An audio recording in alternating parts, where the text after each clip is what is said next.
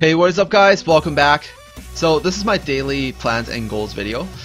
Nothing too much has changed since yesterday. I'm still going to go through. I think I'm doubling down now. I'm gonna I'm gonna make it. Alright, I'm gonna I'm gonna make my make my sapper comp. Okay, I'm actually a bit lost of what I, what I was about to say. But anyways, I have I have these units ready. I've had most of them raised to 5 stars max level, but I did get a comment yesterday that reminded me of something. Um, if I do the fusion for these two monsters, they will actually be returned to 4 stars level 1. Um, I think it's still worth doing because it's not that hard to. I mean, it's kind of a waste of essences. It was a waste of the the mid essences, but I can still get a lot. Like I have a bunch of these. It was a waste of gold as well, like raising units to um, to Evo 3. It cost me like 600. Um, 600,000 in total. But, you know, I can still get that gold back. It's not the worst thing in the world. Um, I would think it's still a pretty good idea to get them to, to, um, wait, maybe I can raise this one. No, I, why, why would I raise that one? That one has shittier gem slots. This one has better gems. Oh wait, no, I'm, that's not the right unit. It's this one. Um, Anyways, I, I think it's still a pretty good idea to, to raise them. It's a good thing they're not variants, because I think after the fusion they might become non-variants. So, you know, that might have been a waste as well. Like, I, I probably might have been really sad if so, all of a sudden my Hana turned into a non-variant after the fusion. Um, that might be something you guys want to watch out for as well, because there's... I need to do the fusion. I also need to make um, make them six stars, which is actually a pretty big investment.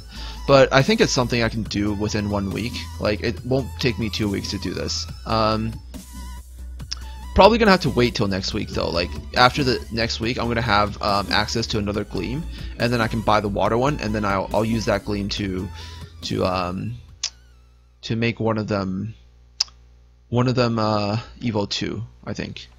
So yeah, that's something to watch out for as well. Like, if you raised it to 6 stars and you want to do the fusion, it might not be a good idea because it will return it back to 4 stars. Um, but I think at 5 stars max level, it's not too bad. Like, I can...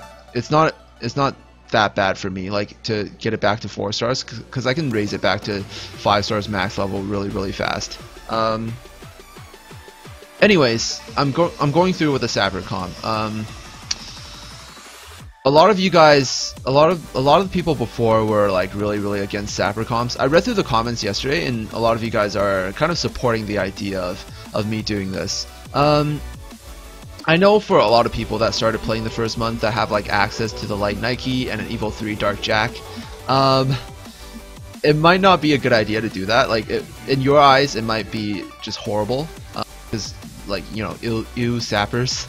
Um, but anyways. I, I think it's a pretty good idea for me who is who has started playing like late compared to a lot of the other players. I don't have I can't make an uh, well I can make an Evo 3 Light Nike but um, I'll have to do that but like even if I do that I don't have access to a per turn healer like the Dark Jack or the Water Persephone. I mean I there, there is another way to solve this problem. All I have to do is pull Water Persephone. That that would probably solve everything. Um, but for for me who doesn't have access to them, there's only one like you know I've only thought of one way where I can actually um, 100% make sure I can farm B10, and that is to, that is to use a sapper comp.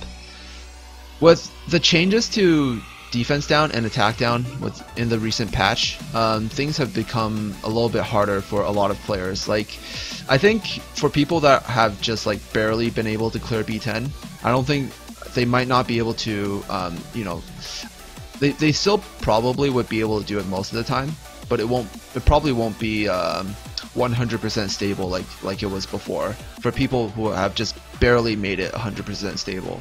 Um, since this change does affect a lot of things, like it makes, attack down makes it so you, you do less damage, meaning that it will take more turns like even if you you, you can survive forever, um, or you have the potential to survive forever, um, more turns just means higher risk, more things can go wrong, and eventually, you know, some at some point something's gonna fuck up, you know. So that's just that's just something I I've always uh I've always thought about when I'm thinking of like a automatic farming team for for for this game.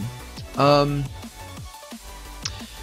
the next little thing is there's there's also the change to attack down, meaning that self-sustain units probably aren't going to be able to make it anymore. I was thinking of a full self-sustain comp, like you know, you know, using the Fire Succubus, the Wild Fang, the uh, the the bolt, the Flashwing, or the Boltwing, or Stormbeak, or whatever the hell they're called, um, whatever the evil one version was called, and um, and the vampire, you know, the vampire can still stay the same, like he can still sustain because his his sustain is adrenaline. But people who use HP siphon, like uh, like her, if she gets attacked down, she's gonna do a lot less damage and she won't be able to sustain herself.